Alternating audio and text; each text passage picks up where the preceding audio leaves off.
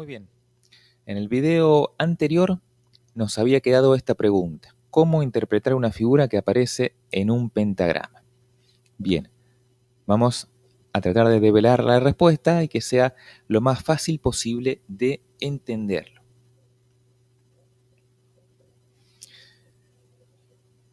Para eso nos vamos a dirigir a este programa, un software eh, que se encarga de escribir partituras. Así como el Word escribe texto, bueno, este programa escribe notas musicales y figuras. Bien, primero lo que quiero es marcar lo que es el pulso. O sea, ¿qué es esto del pulso? Bien, vamos a, hacer, vamos a escuchar un pulso. El pulso es como el segundo o el tiempo que va transcurriendo, ¿no? Escúchenlo. Como si fuera un reloj que nos va marcando el tiempo que va transcurriendo. Bien. Y lo vamos a comparar con el programa Drumbit, que yo también ya les he mencionado y hemos visto, que también lo vamos a marcar como si fuera un, un tiempo, a ver cómo marca el tiempo aquí en el Drumbit. Bien, ese tac tac nos puede marcar un tiempo por el que va transcurriendo la música.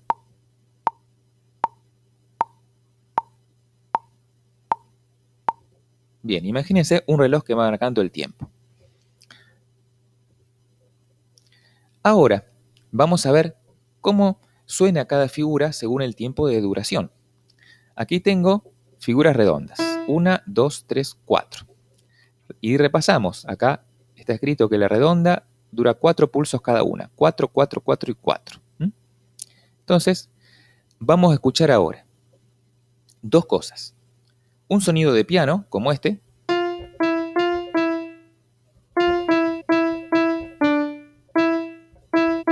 y por otro lado van a escuchar un sonido de pulso o reloj, como ese. ¿Mm? Eso es lo que van a escuchar.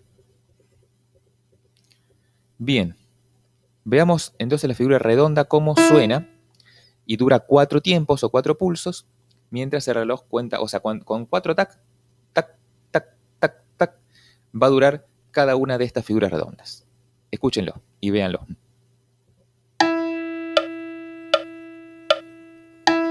Dos, tres, cuatro, uno, dos, tres, cuatro, uno, dos, tres, cuatro. Bien, entonces, cada vez que aparecía una figura redonda, sonaba un piano que duraba cuatro, pulsos. ¿Cómo vamos a hacer acá con el drum beat para corroborarlo? Usaré un sonido. Este sonido parece un globo que se desinfla. Y vamos a hacer lo mismo. O sea, fíjense en el drum beat cómo está marcado el tiempo. Tenemos el segundo o tiempo número uno el tiempo número 2, el tiempo número 3 y el tiempo número 4. ¿eh? Síganme la flecha. 1, 2, 3, 4. Acá el tiempo está dividido en 16 etapas, ¿no? Tenemos 16 etapas. Bien, si yo pongo acá este, este sonido, acá no tengo un sonido de piano, así que pongo un sonido de batería o de platillo en este caso, o de hi-hat. Bien, entonces este sonido va a durar 1, 2, 3, 4 pulsos. Así como el piano en el programa este duraba 1, 2, 3, 4. O sea que es una figura redonda. Fíjense. 2, 3, 4. 1, 2, 3, 4. 1, 2, 3, 4.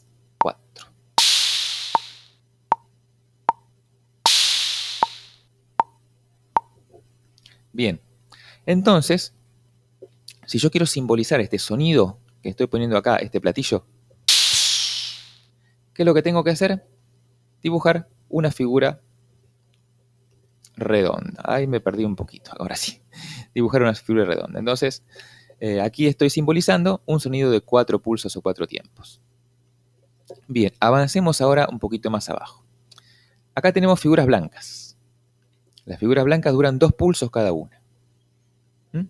Escuchémosla.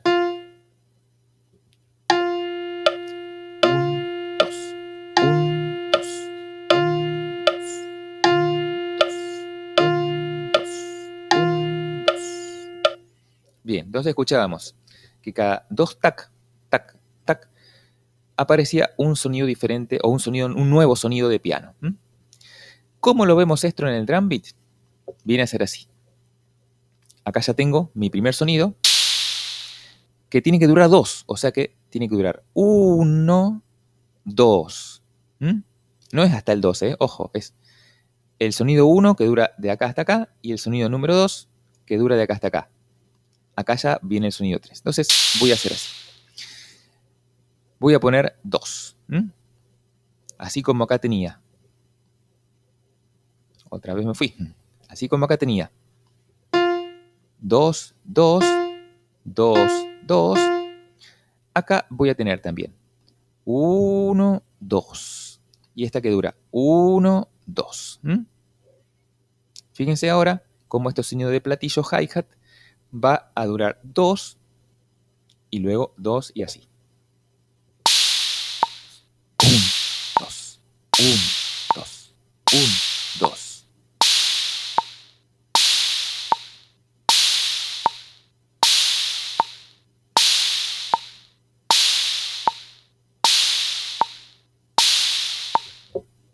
Bien, sigamos avanzando con otras figuras. Figura negra. Recordemos que la figura negra dura un pulso, un pulso cada una. Bien, vamos a ver cómo suena. ¿Qué va a pasar? Por cada tac del pulso, por cada tac, tac, tac, va a haber una figura negra, o sea, va a coincidir el sonido del piano con el sonido del reloj. Van a, ser, van a ir los dos a la par. A ver, escúchenlo.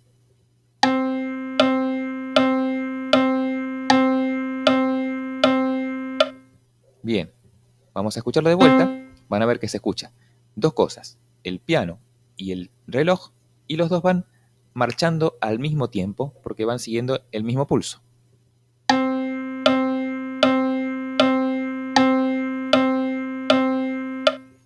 Bien, entonces dicho de otro modo, cuando una canción o una melodía sigue exactamente el ritmo de pulso, significa que eh, se está moviendo a ritmo de figuras negras. O sea, si yo quiero dibujarlo a eso, si un, músico quiere dibujar eso, lo va a dibujar en forma de figuras negras. ¿Cómo se hace esto en el drum beat?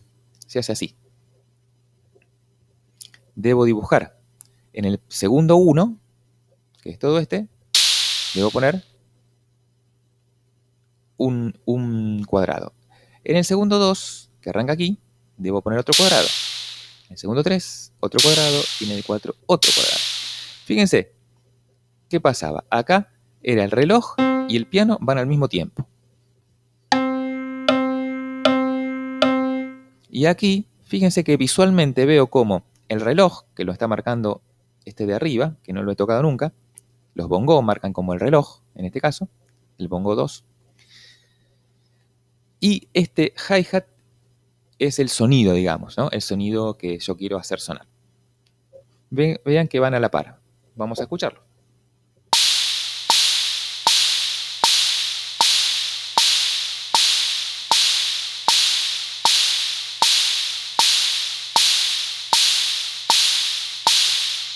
Bien, el sonido del hi-hat en este caso resulta un poco más fuerte que el sonido del bongo. Lo que podríamos hacer es bajarlo un cachito. A ver si ahora se escucha mejor el...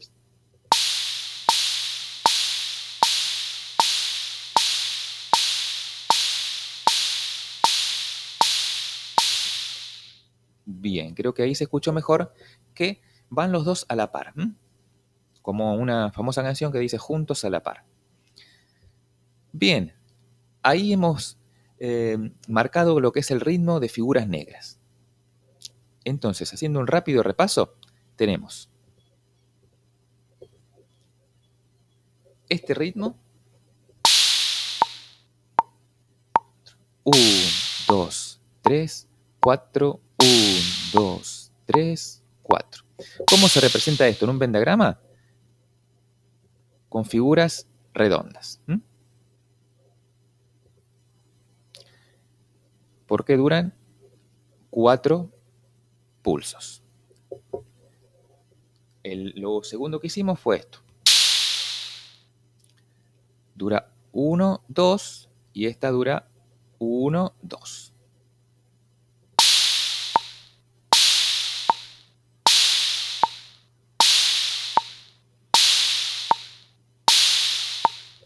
Bien, ¿cómo se representa esto? Con figuras blancas. Así. Y lo último que vimos fue cuando el sonido que yo estoy usando o que yo quiero hacer sonar coincide exactamente con el reloj o pulso, me estoy refiriendo a figuras que en un pentagrama se escriben como figuras negras.